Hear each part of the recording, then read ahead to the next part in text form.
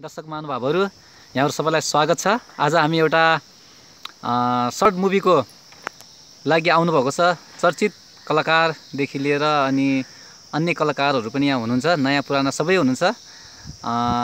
हामी यो सर्ट मुभीको छोटो सर्ट मुभीको बारेमा अन्तर्वार्ता जस्तो छोटो कुराकानी गर्न गइरहेका छौँ। यहाँबाट सुरु गर्न चाहन्छु हजुरको मेरो नाम काजी एसी। होइन। आज सानो सर्ट मुभी बनाउ बनाइरहेको छौँ राम्रै भइरहेछ। दसैँ तिहार सम्बन्धी। त्यही भन्न चाहेँ।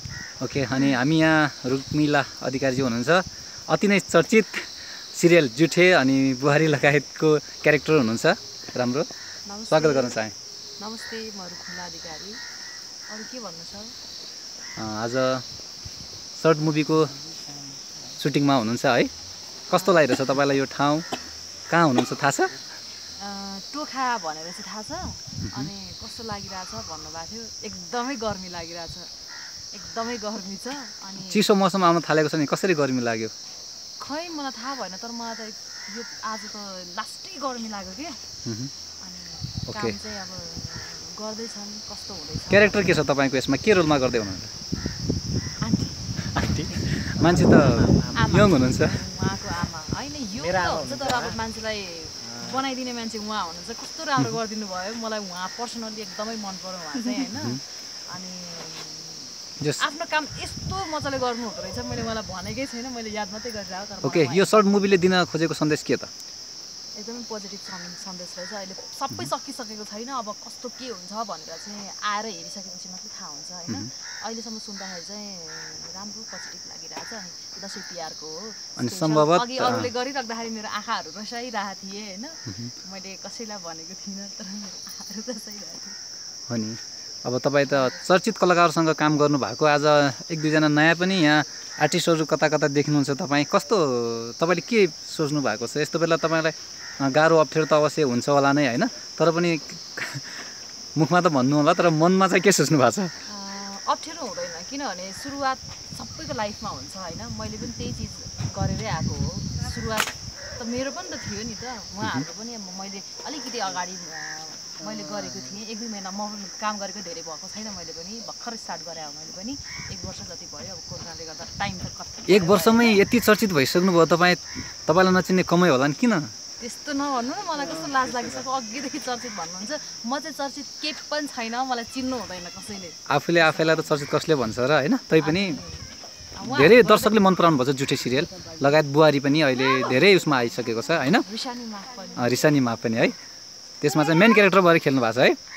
ओके म यतातिर लाग्न चाहेँ। हजुरको शुभ नाम भनिदिनुहोस् न। ओके अनि यहाँ चाहिँ हुनुहुन्छ हजुरको शुभ नाम अनि यसमा यो सर्ट मुभीमा तपाईँको रोल के छ भनिदिनुहोस् न छोटो। कस्तो लागिरहेछ तपाईँलाई? तपाईँको रोल हाम्रो दर्शकहरूलाई सुनाइदिनुहोस् न। ओके साह्रै लजाउनु पर्छ सायद नयाँ भएर होला। है पहिलोचोटि काम गर्दै हुनुहुन्छ हो?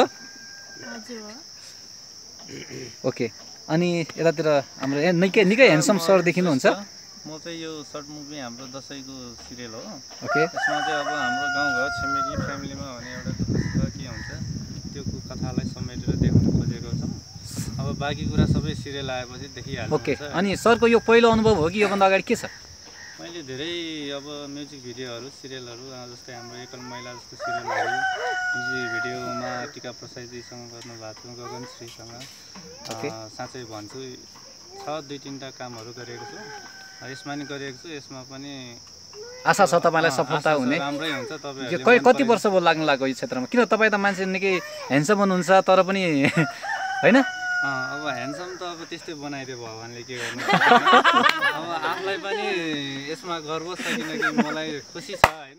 भगवान्ले होइन आमा बुवालाई धन्यवाद भन्नु सेटिस्फाई छ मलाई पनि। ढुङ्गाले हानिदिनु भयो होला अब मेरो बाँकी अब क्यारेक्टरहरू त कस्तो लाग्छ होइन? कला कस्तो लाग्छ यहाँहरूको हातको कुरा हो। हेरेर आज टिमसँग काम गर्दा कस्तो। टिमसँग काम गर्दा कस्तो अनुभव भइरहेछ? टिमसँग काम गर्दा धेरै ला- राम्रो लागिरहेछ मलाई खुसी लागिरहेछ। अब उहाँ हाम्रो स्पेसल गेस्ट हुनुहुन्छ आज। उहाँसँग काम गर्दा झन् खुसी लागिरहेछ। अझ कामहरू बाँकी छ अझ छ अगाडि बढ्नु छ धेरै गर्नु छ। ओके यहाँ फेरि अर्को हाम्रो पात्र हुनुहुन्छ। नमस्ते तपाईँलाई पनि। नमस्ते। अनि अलिकति उमेरले अलिकति अरूभन्दा थोरै एजेड देखिनुहुन्छ। के छ तपाईँको रोल? के कथामा तपाईँको भूमिका के छ? भन्नुहोस् न। बुबा भनेर भन्नुभएको छ। हजुर। बुबा भन्नुभएको छ। उहाँहरूले जस्तो लगाउनु भयो। मैले त्यही गरेँ। म त नयाँ परेँ। अब कुनै हाम्रा साथीहरूलाई इष्टमित्रलाई कुनै गाह्रो भयो होला। मैले गर्दा त्यसमा केही माइन्ड नगर्नु होला र। अब यो एकदम राम्रो होस् भनेर भन्न चाहन्छु म। मैले यहाँभन्दा बढी अलि नजाने त पनि राम्रो लिइदिनु होला। ओके भनेपछि तपाईँ नयाँ हुनुहुन्छ र तपाईँले अब पुरानो मान्छेसँग अलिक चलेको मान्छेसँग केही अनुभवी मान्छेसँग काम गर्दा अलिक तपाईँले उहाँहरूले अप्ठ्यारो मान्नुभयो कि भनेर सोच्नु भएको छ रियलाइज गर्नुभएको छ? हजुर ओके त्यस्तो मान्नु पर्दैन किनभने उहाँले भनिसक्नुभयो अगाडि नै। उहाँ पनि तपाईँको स्टेपबाट नै अगाडि बढ्नु भयो होइन? त्यति उहाँले कन्टिन्युटी दिनुभयो सुधार्दै जानुभयो। अब कतिले बिगार्दै पनि जान्छन् र पछाडि पर्छन् र कति सुधार्दै जान्छन् अगाडि पर्छन् यति मात्र फरक छ होइन? हवस् त तपाईँ हाम्रो यो सम्पूर्ण दर्शक महानुभावलाई के भन्न चाहनुहुन्छ? तपाईँलाई अहिले हेरिरहनु हुने हाम्रा प्रियभन्दा प्रिय दर्शक महानुभावहरूलाई ईश्वर रूपी दर्शक महानुभावलाई के भन्न चाहनुहुन्छ? सबैले हेर्नु हुँदाखेरि नराम्रो भयो भने राम्रो गरी सहयोग गरिदिनु होला हेरिदिनु होला भन्ने चाहन्छु। ओके सबैले त्यही हो। अन्तिम के छ तपाईँहरूको सन्देश? सबैको दसैँ तिहार शुभ रहोस् मङ्गल रहोस् भन्न चाहनुहुन्छ कि? सबैलाई ह्याप्पी दसैँ तिहार। अनि त्यसपछि हाम्रो सर्ट मुभी हेरिदिनु होला कस्तो लाग्छ कमेन्ट गरिदिनु होला सच्याउने बाटोहरू दिइदिनु होला। अनि त्यसपछि सपोर्ट माया गरिदिनु होला सपोर्ट गरिदिनु होला। त्यही हो। धन्यवाद सबैजनालाई अनि स्पेसल धन्यवाद हजुरलाई। मैले हजुरले गर्दा यो क्यारेक्टरको काम गर्न पाएँ धेरै धेरै धन्यवाद। हुन्छ सबैहरू तपाईँहरू सबैलाई मेरो तर्फबाट पनि नमस्कार अनि धन्यवाद यो समय दिनुभयो। हवस् त नमस्ते शुभ दिन होस्। तपाईँहरूलाई पनि शुभ दसैँ शुभ तिहार होस्।